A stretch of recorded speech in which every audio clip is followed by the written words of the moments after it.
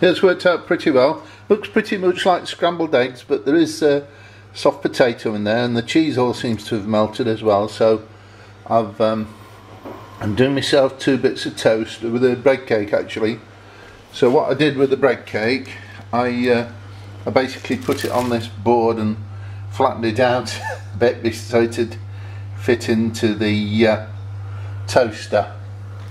So um, anyway, keep an eye on it. I'll always turn the toaster off at the wall if um, it's smelling like it's burning a little bit.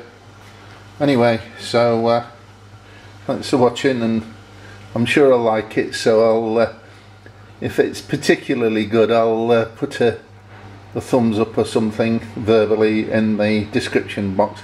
All the best, bye!